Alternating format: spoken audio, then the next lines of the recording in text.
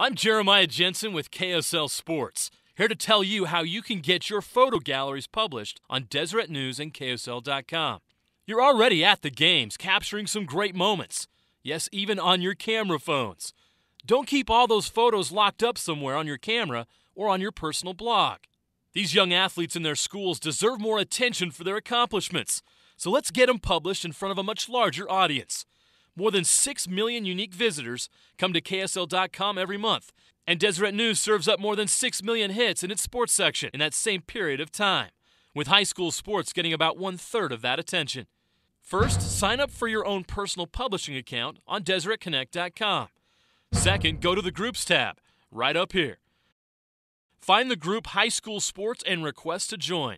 Third, take some great photos at the game and submit your photo gallery to editors by clicking Photo Gallery in this drop down menu. Write at least a few sentences about the game to give your photo gallery some context who played whom and when, and what the final score was. And maybe include a few descriptions about some key plays if you'd like. An editor will promptly review your work and get it published. Of course, it'll appear with your byline and your credit next to each one of your photos, so your community knows who stepped up. So get started right away by creating your own personal publishing account at DeseretConnect.com.